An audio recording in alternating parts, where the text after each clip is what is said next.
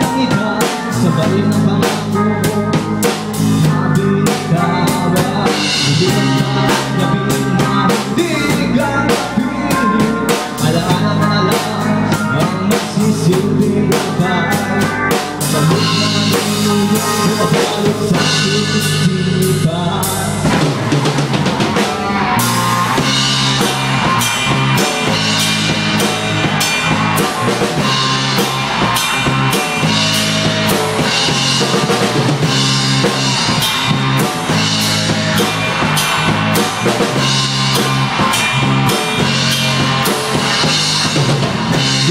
sa aking isipan Tumagalan sa bawat